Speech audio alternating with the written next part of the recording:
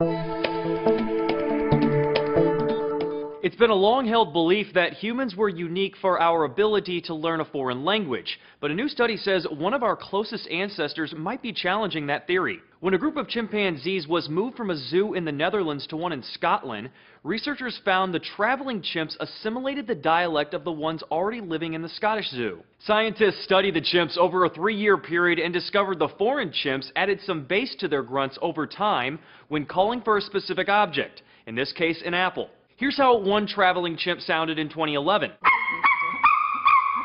Fast forward three years, and here's the chimp again, sounding like his new neighbor. The researchers say this is a pretty big deal because it's the first time scientists have heard a primate species other than humans do something like this. One of the study's co-authors, University of Zurich Simon Townsend, says these findings might shed some light on the evolutionary origins of these abilities. The fact that both humans and now chimpanzees possess this basic ability suggests that our shared common ancestor living over 6 million years ago may also have been socially learning referential vocalizations.